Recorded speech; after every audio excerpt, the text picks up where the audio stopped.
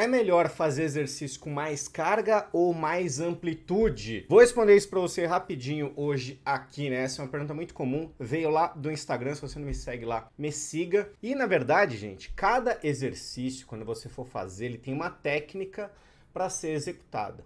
Essa técnica, ela respeita a amplitude possível das articulações naquele exercício.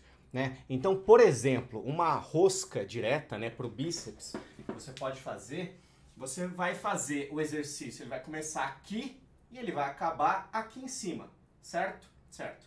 O que, que a gente vê muito na academia? Ele começando aqui e acabando aqui, a pessoa fazendo só isso, ou mais comum ainda, a pessoa sobe até aqui e aí ela nem desce tudo e já volta, porque ela sabe que se ela descer, ela não vai conseguir subir. Então ela fica fazendo exercício aqui. E às vezes ela até ajuda com o tronco, né?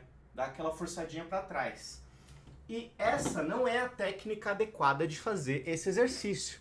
Então, é, a amplitude, ela é parte da técnica. Então ela deve vir antes da carga. Você faz o exercício com a técnica correta, com a maior carga que você conseguir.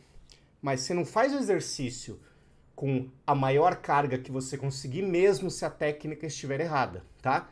Então é por isso que amplitude vem antes da técnica, beleza? Arruma bem a técnica, chama o professor, pergunta para ele, professor, tô fazendo o treino certo?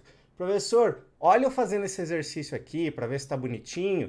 O professor tá na academia, ele tá lá para isso, para te ajudar. Mesmo que às vezes não pareça, tá? mas você não deve ficar tímido nem tímida, você tem que ir lá conversar com ele para ele te ajudar. Amplitude antes de carga, não tenha medo de falar com o professor. Arruma a técnica de cada exercício e aí depois você vai metendo a maior carga que você conseguir. Um beijo para você e até o próximo vídeo.